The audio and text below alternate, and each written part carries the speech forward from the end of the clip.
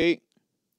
Arrancan los competidores de la primera competencia de la tarde. La partida es mala para el uno. Shosha se queda en el último lugar. Saltar rápidamente por el centro de la pista. El ejemplar Tested Metal a tratar de tomar el primer lugar. Ataca por la parte externa el ejemplar eh, eh, Agárrame si puedes. En el tercero intenta movilizarse el 6 Gordon Survivor. En el cuarto por dentro Grand Andrews. Luego viene apareciendo el número 2 el Cayo Valiant Avenger. Más atrás aparece The Twin Sneaker junto al número 9 Héctor B. Mientras que Shosha el 1 se quedó bastante lejos.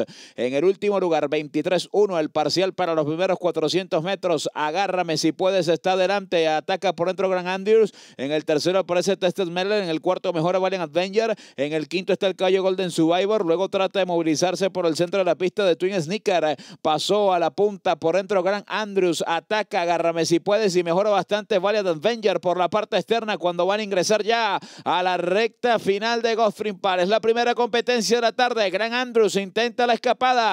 Agárrame si puede, está en el segundo. En el tercero intenta mejorar por el centro de la pista. En el número 4, el caballo de Twin Sneaker. Junto a él aparece Golden Survivor en 46-3 para la media milla. Gran Andrews escapado en punta con David Boraco. Ventaja de cuatro cuerpos. Atropella de Twin Sneaker por la parte externa, pero parece lejos. Les va a ganar Gran Andrews, el pupilo de Ramón Minguet con David Boraco y no puede perder. Sorprendiendo en la primera competencia. Ganó Gran Andrews, número 3. Segundo, agárrame si puedes. Tercero de Twin Sneaker. Cuarto para Golden Survivor.